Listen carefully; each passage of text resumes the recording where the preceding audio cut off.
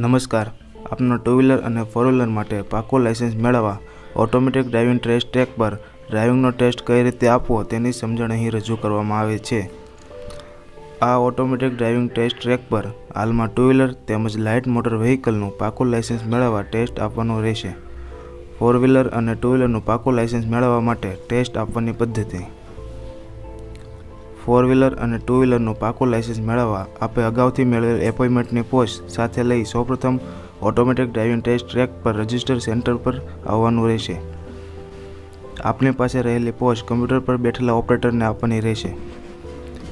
Computer operator દ્વારા પાકા લાઇસન્સના test માટે આપનું રજિસ્ટ્રેશન કર્યા બાદ તરત જ આપના વાહન સાથે ડ્રાઇવિંગ ટેસ્ટ ટ્રેક પર હાજર રહેવાનું જણાવવામાં આવશે.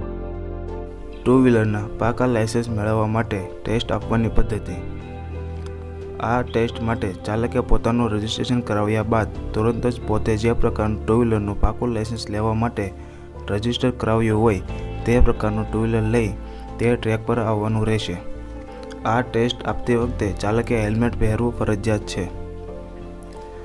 ટ્રેકમાં જો અન્ય કોઈ ટુ વ્હીલરનો ટેસ્ટ ચાલતો હોય તો ચાલકે તેમાં પ્રવેશ કરવો નહીં. ટેસ્ટ માટે ચાલકે પોતાનું ટુ વ્હીલર સર્પેન્ટાઇન આકારના ટ્રેક પર દોરેલી સ્ટોપ લાઇન પર ઊભું રાખવાનું રહેશે.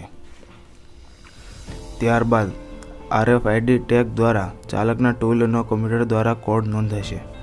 ટ્રેકમાં કોઈપણ વાહન ન હોય ત્યારે ચાલકે ટેસ્ટ આપવા માટે પોતાનું ટુ વ્હીલર સર્પેન્ટાઇનમાં ચલાવવાનું રહેશે.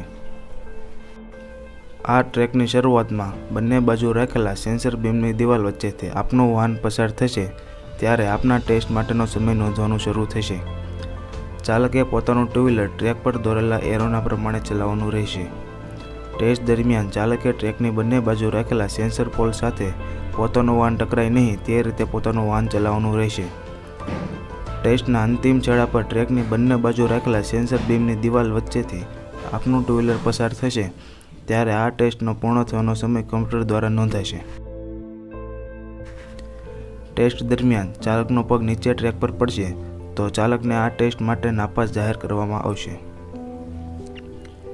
જો ચાલકનો વાહન ટેસ્ટ દરમિયાન ટ્રેકની બંને બાજુ રાખેલા કોઈપણ સેન્સર, બીમ કે સેન્સર પોલ સાથે ટકરાશે, તો તેને ફાઉલ ગણવામાં આવશે.